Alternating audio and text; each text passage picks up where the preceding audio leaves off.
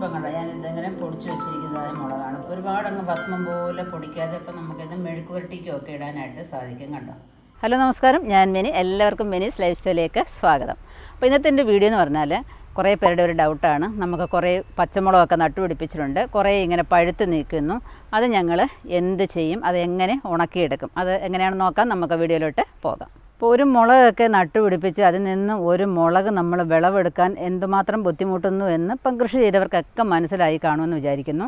ഇപ്പോൾ ഇതേപോലെ മുളകൊക്കെ കൃഷി ചെയ്തിട്ട് അങ്ങനെ ഇഷ്ടം പോലെ മുളകും പിടിച്ചു. ഇനി നമുക്ക് ഇത് എന്ത് ചെയ്യും? എല്ലാം കൂടെ നമുക്ക് കഴിച്ച് തീർക്കാൻ പറ്റത്തില്ല. മുളകല്ലേ? ഇങ്ങനെ പഴുത്ത് നിൽക്കുന്നതായ മുളകിനെ നമുക്ക് നമ്മുടെ ആവശ്യത്തിന് തന്നെ നമുക്ക് ഉപയോഗിച്ചെടുക്കണം അപ്പോൾ ഇതിന് വേണ്ടിയിട്ട് ഞാനൊരു അച്ചാർ വീഡിയോ കാണിച്ചിട്ട് അത് പച്ചയ്ക്ക് ഇടാൻ പറ്റത്തുള്ളൂ. പഴുത്തൊന്നും നമ്മൾ അതിനകത്ത് ഇടാറില്ല.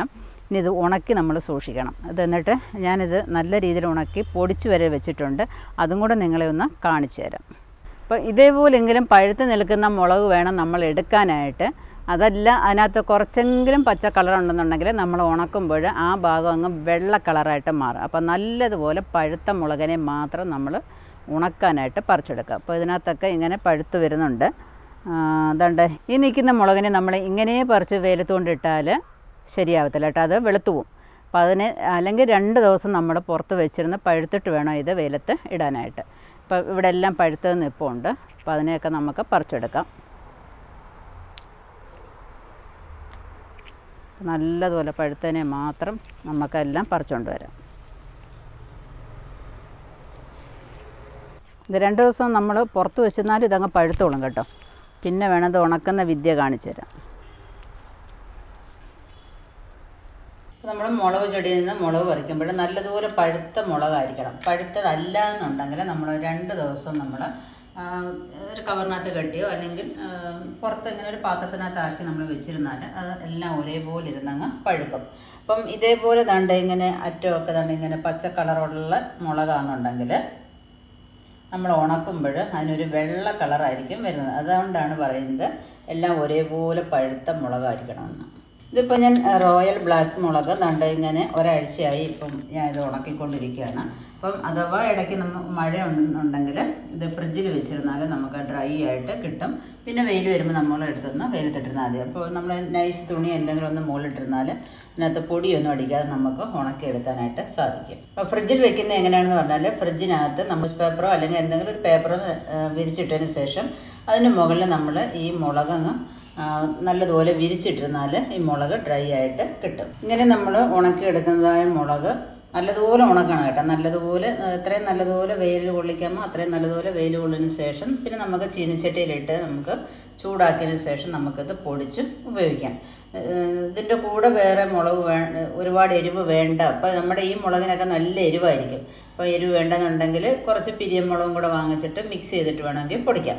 അതല്ല ഇങ്ങനെ തന്നെ പൊടിക്കുകയെന്നുണ്ടെങ്കിൽ ഞാൻ ഇങ്ങനെ തന്നെ പൊടിച്ചേക്കുന്ന കുറച്ച് ചില്ലി ഫ്ലേക്സ് ആയിട്ട് വെച്ചേക്കുന്നത് കാണിക്കാമേ അത് മെഴുക്കുരട്ടിയൊക്കെ ഉണ്ടാക്കാനായിട്ട് ഉപയോഗിക്കാം. ഇതിപ്പം കണ്ടോ ഞാൻ ഇതെങ്ങനെ പൊടിച്ച് വെച്ചിരിക്കുന്നതായ മുളകാണ്. ഒരുപാട് അങ്ങ് ഭസ്മം പോലെ പൊടിക്കാതെ ഇപ്പം നമുക്കിത് മെഴുക്കുരുട്ടിക്കും ഒക്കെ ഇടാനായിട്ട് സാധിക്കും കണ്ടോ? അപ്പോൾ ഇതേപോലെ എല്ലാവർക്കും ചെയ്ത് വെക്കാവുന്നതാണ്.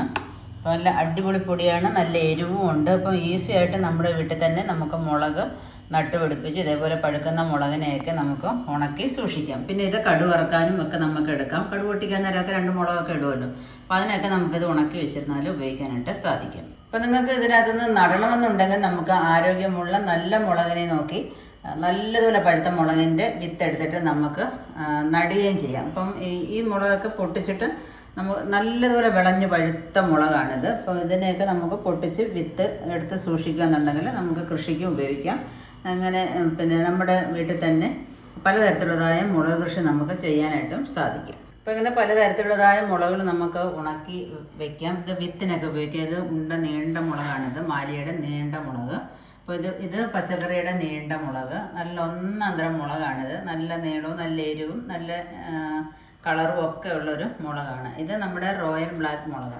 അപ്പം ഇതേപോലെയൊക്കെ കൃഷി ചെയ്യണമെന്നുണ്ടെങ്കിൽ നിങ്ങൾക്ക് വിത്തുകളൊക്കെ കിട്ടുന്നില്ല എന്നുണ്ടെങ്കിൽ നമ്മുടെ വെബ്സൈറ്റിൽ വരുവാന്നുണ്ടെങ്കിൽ നിങ്ങൾക്ക് വെറൈറ്റി ആയിട്ടുള്ള മുളകിന്റെ വിത്തുകളൊക്കെ വാങ്ങിക്കാനായിട്ട് സാധിക്കും. അപ്പം തീർച്ചയായിട്ടും ഒരു പത്ത് മുളക് തൈയെങ്കിലും നിങ്ങൾ നടാനായിട്ട് ശ്രമിക്കുക. എന്നിട്ട് വിഷമില്ലാത്ത മുളകൊക്കെ ഉപയോഗിക്കാനായിട്ടൂടെ ശ്രമിക്കുക. അപ്പോൾ നിങ്ങൾക്ക് എല്ലാവർക്കും ഈ മുളക് ഉണക്കുന്ന വീഡിയോ ഇഷ്ടപ്പെട്ടുവാണെന്ന് വിചാരിക്കുന്നു. അപ്പം തീർച്ചയായിട്ടും നിങ്ങളുടെ വീട്ടിലും ഇതേപോലെ മുളകൊക്കെ ഉണ്ടെങ്കിൽ ഉണക്കി പൊടിയൊക്കെ ആക്കാനായിട്ട് ശ്രമിക്കുക. അപ്പം ഇതേപോലെ നിങ്ങൾക്കും പിന്നെ കൃഷിയൊക്കെ ചെയ്യണമെന്ന് ആഗ്രഹം കാണും അല്ലേ? അപ്പം നിങ്ങൾക്ക് പലതരത്തിലുള്ളതായ മുളകിന്റെയൊക്കെ വിത്തുകൾ ആവശ്യമുണ്ടെങ്കിൽ നമ്മുടെ വെബ്സൈറ്റായ ഡബ്ല്യൂ ഡബ്ല്യൂ ഡോട്ട് മിനി സ്ലേസ്റ്റ് ഡോട്ട് കോമിൽ നിന്ന് വിസിറ്റ് ചെയ്യുന്നുണ്ടെങ്കിൽ നിങ്ങൾക്ക് ആവശ്യമുള്ളതായ എല്ലാ തരം വിത്തുകളും നിങ്ങൾക്ക് വാങ്ങിക്കാവുന്നതാണ്. അപ്പോൾ നിങ്ങൾക്ക് ഈ വീഡിയോ ഇഷ്ടപ്പെട്ടെങ്കിൽ ലൈക്ക് ചെയ്യുക ഷെയർ ചെയ്യുക സബ്സ്ക്രൈബ് ചെയ്യാതെ കാണുന്നവരാണെന്നുണ്ടെങ്കിൽ സബ്സ്ക്രൈബ് ചെയ്തിട്ട് കാണാനായിട്ട് ശ്രമിക്കുക. ഫേസ്ബുക്ക് പേജിൽ കാണുന്നവരാണെന്നുണ്ടെങ്കിൽ അവിടെ നിങ്ങളൊന്ന് ഫോളോ ചെയ്യാനായിട്ട് ശ്രമിക്കുക. അപ്പോൾ അടുത്ത വീഡിയോയിൽ കാണുന്നവരെ ഞാൻ മേനി നന്ദി നമസ്കാരം.